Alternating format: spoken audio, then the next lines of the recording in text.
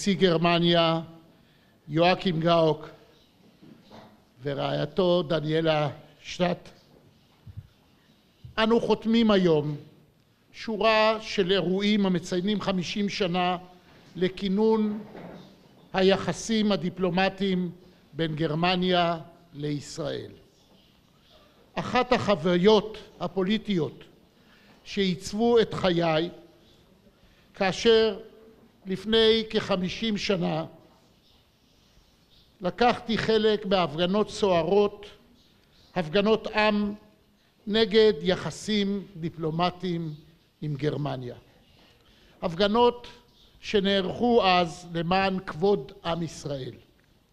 אני זוכר היטב את ההפגנות ואת אחת ההפגנות עם הגשת כתב האמנה של שגריר גרמניה בישראל רולף פאולוס. רבים ענדו אז את טלאי הצהוב כמחאה על נגינת ההמנון הגרמני בבית הנשיא.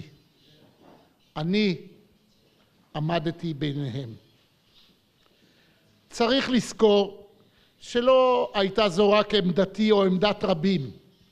בדרכון שהוציאה אז מדינת ישראל בשנותיה הראשונות היה כתוב כי הוא תקף לכל מדינות העולם פרט לגרמניה. מכובדי הנשיא, היום אני מקבל אותך כאן בבית הנשיא כנשיא מדינת ישראל.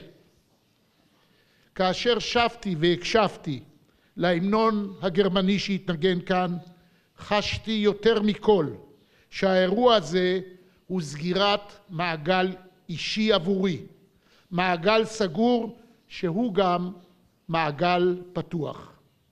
חמישים שנה אחרי והצירוף ישראל-גרמניה עדיין מעורר בנו תחושה מסוימת של חוסר נחת.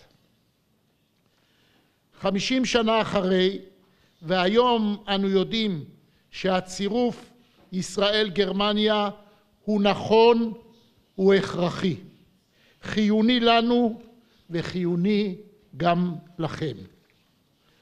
לעד נועדנו להיות אחוזים בקשר של כאב ותקווה.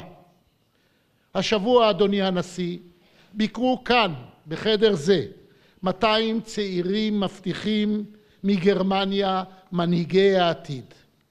50 שנה עברו, וכמו שאמר לפני 50 שנה רולף פאולוס, ואני מצטט: על הגרמנים והיהודים לחשוב על כך שלפניהם העתיד, עתיד משותף של חופש, שלום וצדק.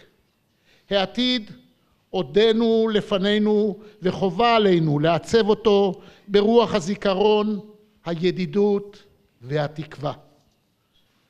מכובדיי, בימים אלה בהם חוזרים טרור, אלימות, חוסר הסובלנות ורדיפות על רקע דתי לרחובותיה של ירושלים, לרחובותיה של אירופה וחלקים מרכזיים במזרח התיכון, אני מאמין כי חובה עלינו להמשיך ולהוכיח בברלין ובירושלים את היכולת המשותפת שלנו לעמוד איתנים מול אתגרי ההווה ורוחות העתיד. ואני בטוח שנצליח בכך. ברוך תהיה בבואך, ברוכה תהיי בבואך. תודה רבה לכם, אורחים יקרים.